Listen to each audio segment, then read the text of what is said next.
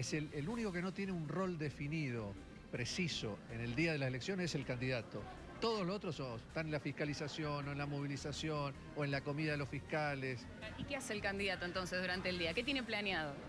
No, ahora voy a almorzar con mi madre y mis hermanas. Después trataré de dormir la siesta si puedo. Y bueno, y bueno, ya a las 6 de la tarde cuando se cierren las mesas, bueno, ya me instalo en el, en el búnker nuestro de Cambiemos en Troas y Moritán. a- ahí, a la- a la- la etapa de más ansiedad.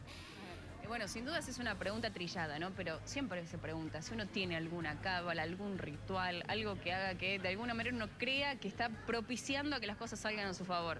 No, no tengo una cábala, sinceramente no tengo un ritual. Sí me gusta que mis hijos me acompañen a votar. En la primera vez que. Gracias. La primera vez que me acompañó Augusto, que tenía. eh, era en el 2005, en esa elección fui electo concejal de Posadas. No es una cábala, me, me siento acompañado y me, me gusta que me acompañen mis hijos y mi familia en este día, que es un día muy especial para cualquier candidato. Pero no es una cábala, es, un- es una gratificación más que una cábala. Es una cábala, pero no te sientas presionado, Augusto, ¿eh? No, no. ¿Vos ¿Qué vas a hacer durante el día de hoy con tu papá? Acompañarlo. No votás, ¿no? Todavía. No, no. Dos años. En dos años entras en el voto electivo. Sí.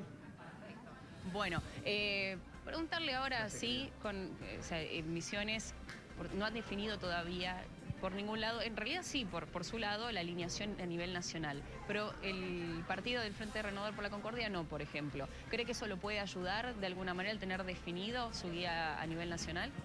No, yo creo que es una elección provincial. Acá, eh, como le dije a colegas tuyos, Mariana, acá se juegan.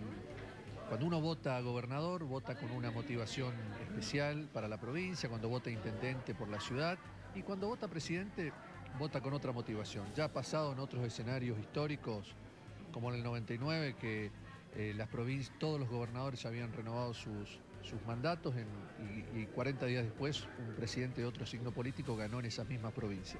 Creo que hay claras motivaciones diferentes y esta es una elección provincial donde se juega propuestas provinciales, candidatos provinciales, o sea que es, este, va a ser todo responsabilidad nuestra.